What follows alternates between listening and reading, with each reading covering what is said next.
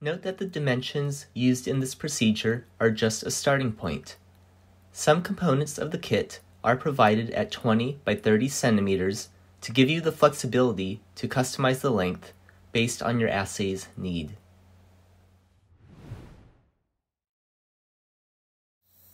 Select your membrane and conjugate pad of choice from the starter kit and cut your conjugate pad 10 millimeters in width.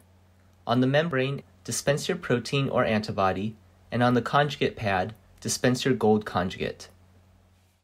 On your membrane, make sure you note which is the test line and which is the control line.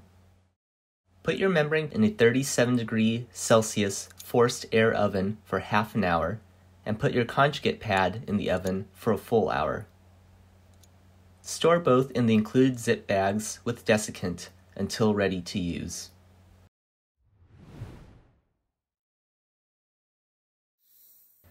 Choose the desired sample pad from the starter kit. Cut it to 18 millimeters wide. Cut the wick pad to 18 millimeters in width also. The backing card has different slits to help direct the placement of each component. You can either use these slits as a guide, or you can change the position of the material to the appropriate position per your assay's requirement. Peel off the membrane liner and don't throw it away. Position the membrane from the bottom slit and make sure it's aligned along the card. Place the shiny side of the liner on top of the membrane and run your finger lightly across the membrane to make sure the membrane is completely stuck onto the backing card.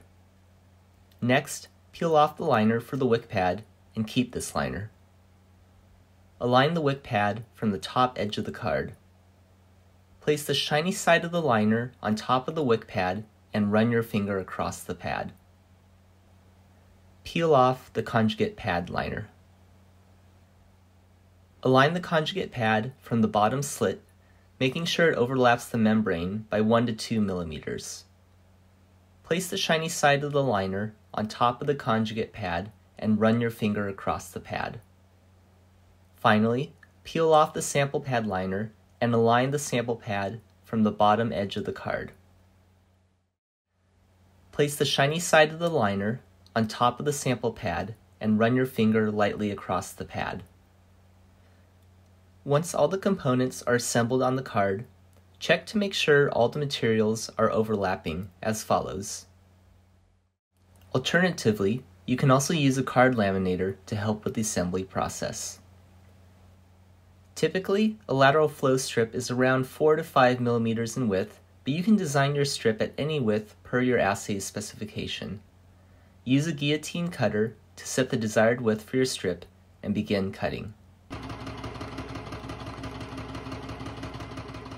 With desiccant, store your finished lateral flow strips in the foil pouch.